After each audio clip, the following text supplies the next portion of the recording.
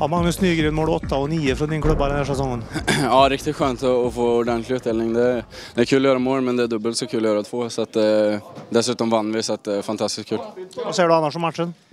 Eh, ja, lite upp och ner. Jag tycker vi, vi börjar lite sådär, tar tag i det mer i, i, mitten, sluta första och avsluta riktigt bra tycker jag. Sen, eh, sen kom vi ut lite, lite halvknackigt i, i andra och, och eh, och uh, gör ingen vidare period. Men i tredje så tycker jag att vi, vi spelar fantastiskt boxplay och uh, vi offrar oss riktigt bra trots att det står 4-1. Och, och uh, vi får avsluta med riktigt vackert mål här, 5-1 och vi visar, visar verkligen klasser när vi dödar matchen i tredje tycker jag. Och så powerplay då, två backar där, du och, och Lee.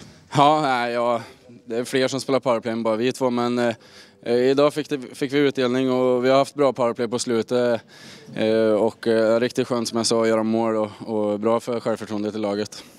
Och sen är det ett litet minibreak här nu några timmar och hemma på, på torsdag. Ja, det stämmer bra det.